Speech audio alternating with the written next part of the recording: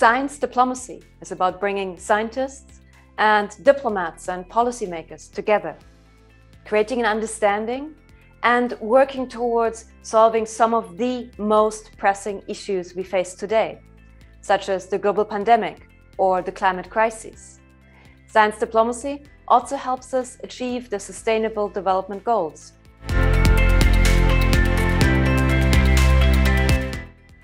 Guided by practicing science diplomats and experts, we look at different approaches to science diplomacy and different practices. From there, we dive deeper into specific issues, such as health, renewable energy, land use, and climate action. Not quite. We explore how science and policy can be brought together to provide practical guidance for effectively solving some of the existing problems. We also look at anticipating future science policy interactions and some of the challenges brought about by emerging technologies.